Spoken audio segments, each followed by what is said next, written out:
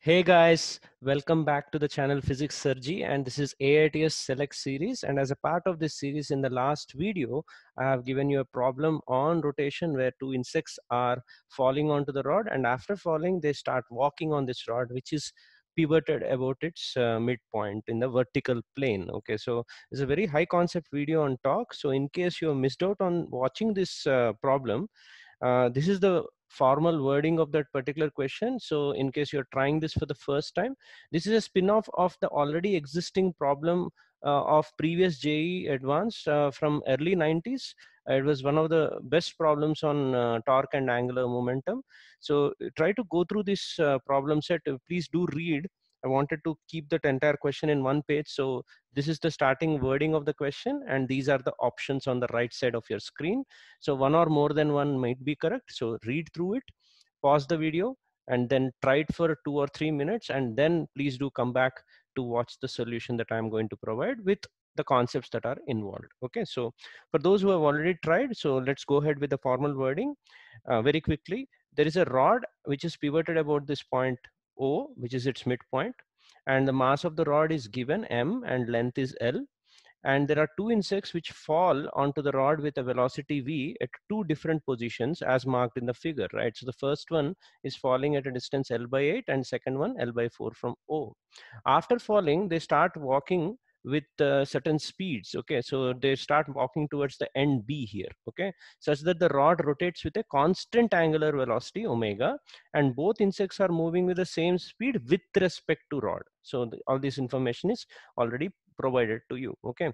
So they start walking in such a way it seems uh, two important conditions that they walk with respect to rod with same speed throughout and uh, they do so in making sure that the rod starts rotating obviously in clockwise sense with a constant angular velocity and the value of that omega is also given to you.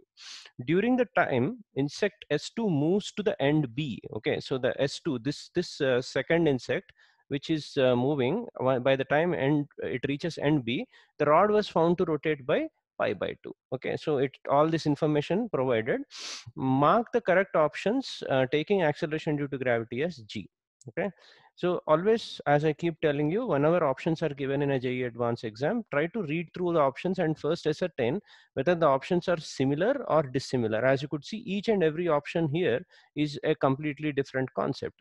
At times, they'll ask questions where they'll, in first and second option, they'll ask the same quantity. So that reduces your work.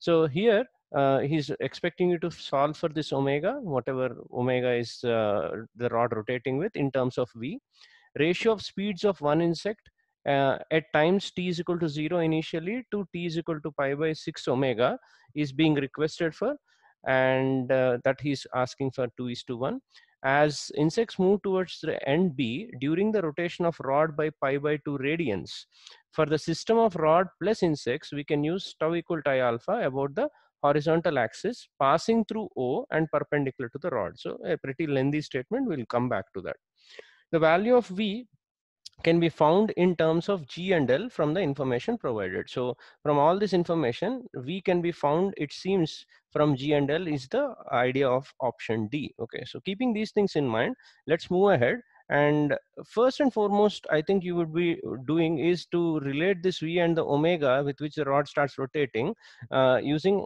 angular momentum conservation of what system? System will include both the insects and the rod and that too about O. About O, the torque on this entire system would be zero because the forces would become internal uh, due to the collision. Okay, so that is the first thing we'll do, conserving angular momentum. When the insects are about to fall, they fall with velocity v. And once they fall and start walking, just after falling, the let's say the angular velocity is omega, as you could see in the second diagram on the screen. So uh, LHS uh, of this particular equation talks about angular momentum of the system just before hit and RHS talks about the angular momentum just after the hit. Okay, right. So MV into L by 4 as you could see for the second insect, MV into L by 8, right?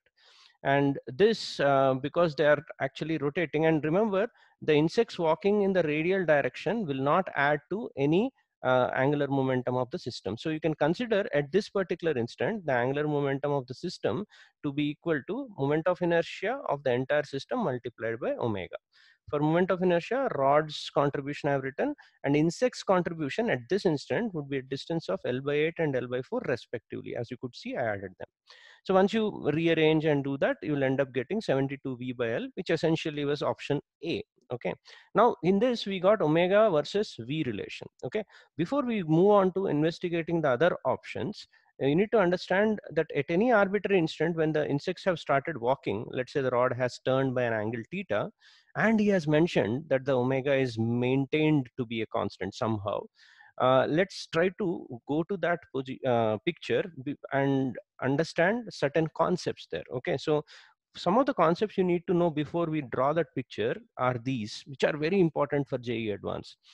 About any axis attached to an inertial frame, for a system of particles, tau bar is defined as dl bar by dt. You should understand this is a general and the correct equation, even if the body is not rotating about that axis. Please understand this. In this first equation, I have never mentioned the system is to be rotating about an axis. A system of particles if L bar is known about a particular axis and that axis is attached to an inertial frame, then torque is actually defined as dl bar by dt.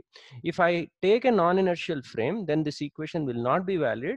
And in order to make it valid, I have to write a pseudo torque on the left hand side. Okay, so that is first thing.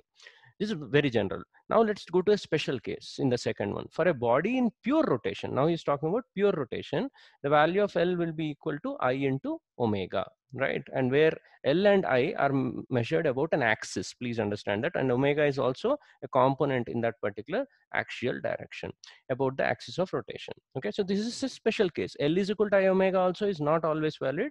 It should be valid only in case of pure rotation. Then combining one and two, that means I assuming the system in rotation about a fixed axis and I want uh, this L to be substituted here in the pure rotation situation. This would be the condition that we'll end up getting. Now what happens is this will become tau equal to I alpha when only I can bring the I out. Okay, so only if I is constant. If I isn't, then I have to manipulate from here itself. That's why tau equal to I alpha in the present scenario will not be applicable with the system of rod plus insects because insects are walking away and the mass distribution of the system is changing, thereby I actually changes. So I'll use this yellow equation and not the white tau is equal to I alpha. So keeping these things in mind, if we move forward and draw the picture of the rod at any arbitrary angular position theta, can you see on the picture I have marked theta? And since he said that angular velocity is constant, I can write theta as omega t. I can't write theta as omega t until unless omega is constant. So this is a, a very important observation you have made there. Okay, so this is omega t angle now insect uh, which was at L by 8 has already walked a distance x. And since both insects actually walk with same relative speed, this gap between them is maintained. And that would be always L by 8. So the second insect would be at a distance of L by 4 plus x. So um, at this instant, what I'll use is I'll use this uh, tau equal to d by dt of i omega equation and where omega is given constant, right? And that's why omega came out instead of capital I. So that's the beauty of this question, which in uh, which was also asked in previous JEE and where only one insect was there. So there have been now two insects, okay? So now I applied torque on the left-hand side is due to these two weight forces, okay? Whereas the rod's weight will pass through the pivot. Uh, so I wrote the torque on the LHS. You could see mg into L by 8 plus x into cos theta. Cos theta is cos omega t because you need to take the uh, perpendicular distance. You extend the line of action. This would be the distance that I have to write. So same thing happens for this cos theta comes out, right? And on the right hand side, omega comes out and d by dt of the moment of inertia of the system, okay?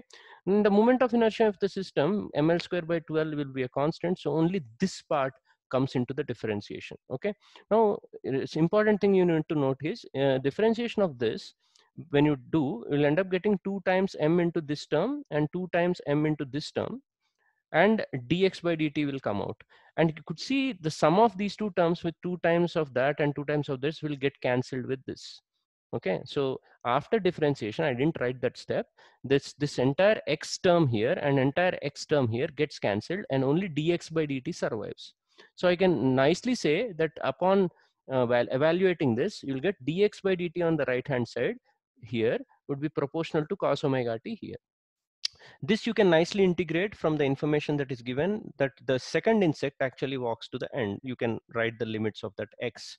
And time taken also he wrote is from 0 to the pi by 2 omega because the angle has been rotated. Why I'm not doing it is because the answer was theoretical and he didn't ask uh, anything about the calculation. So I made an idea that omega can be found upon, upon integrating this thing. Okay, because these limits are known and these limits are known, you can find the value of omega. Once you find the omega, you will go back to the first equation that you got and then you'd be able to find the value of V in terms of G and L. Only those two terms would be available. So with this idea, let's go back and mark the correct options. So the first one we end up getting anyway correct, right? So this would be perfect. A is correct. And uh, B is pretty obvious. He's just checking whether you're reading the question carefully. Once he says insect are moving with same speed with respect to the rod, at any instant with respect to the rod, speed ratio should be 1 is to 1, right? So B is not a correct answer. As insects move towards the end B, during the rotation of the rod by pi by 2 radian for the system of rod and insects, we can use the equation tau equal to alpha. This is wrong, right? Because we have just now investigated for the system of rod and insects, the moment of inertia is changing. So this would be an incorrect option. C should not be marked. The value of V we just now found in terms of G and omega L, L in terms of the information provided. So the correct options are A and D okay right i hope you're ready for your next question in the AITS select series right so i've selected another good question this time from the gmp FIITJEE GMP, right? Some students have requested for me to take two questions, and this is a multi-conceptual question, a combination of magnetic field and also Young's modulus, that is properties of matter. Okay, so I don't want to spoil your experience by reading it out. Just make sure that you understand this is your JEE uh, new advanced model where numerical questions are asked. So uh, this is this is the question okay and for those who are new to this channel and want to check out what were the previously done questions from AITS select series uh, the playlist of that particular AITS select series quite a new number of questions have been done please do check in the link in the description below.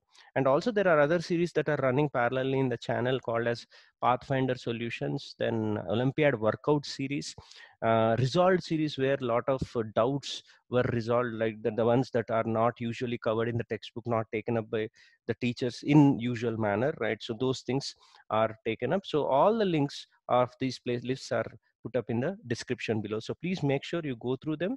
And in case you like that content, you do like the video, share it and subscribe to my channel. And I'll be bringing up more such quality content in the future. And uh, uh, I hope you stay uh, with me in my journey. Okay, so thank you very much and see you in the next video.